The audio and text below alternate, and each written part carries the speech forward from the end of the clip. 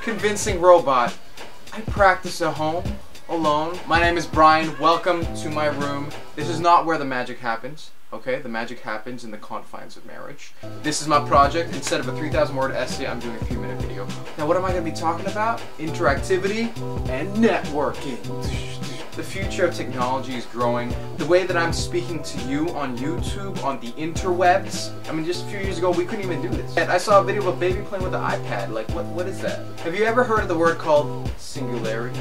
Well, it's the whole idea that one day this robot race will dominate the world and basically take over. Maybe of you play World of Warcraft and you take it really seriously like it's another life. Maybe you've heard of something called Second Life. Second Life is basically a simulation on the life we live. We live as a different character in a different world. People don't even think it's a video game anymore, and it isn't. People actually get to go on there and get therapy. I saw this video where they give birth.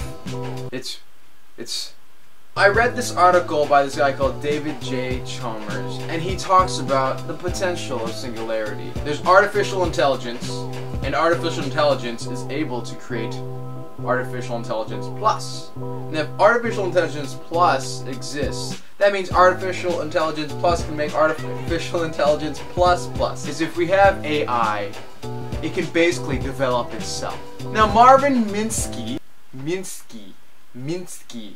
He believes that one day robots will basically inherit the world. As us as humans, we have our limitations. I am going to die one day.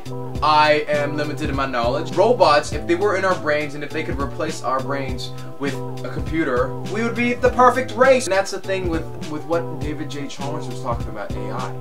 We could be that AI. We could be that new robot race. Maybe it's really about us adopting this technology within us. David J. Chalmers believes this is going to happen. He believes, honestly, that we are going to become this robot race and maybe in a hundred years from now. I'll be honest, I think it's creepy. I don't want technology within me. I like the fact that I can turn off this camera, I can turn off my computer. There's an aspect of limitations that is so important to us. There's this concept of empathy that everyone needs. The concept that we need to die. If we don't die, we will not understand life. If you, if you had technology stuck in your brain all the time and you could never run away from it, would you really be you? So this is what I would say to David J. Chalmers.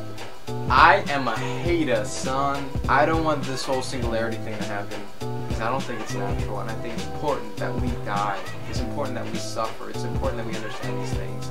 Video games are cool and all, and all that kind of business is great in simulations. But when we go too far, we lose that aspect of who we are. If you had an opportunity to become the super you, where you were embedded with all this technology and you have no limitations and you won't die, would you do it? But, what do you think? Leave a comment down below. Okay? Yo? Boo, boo, robot out. Boo,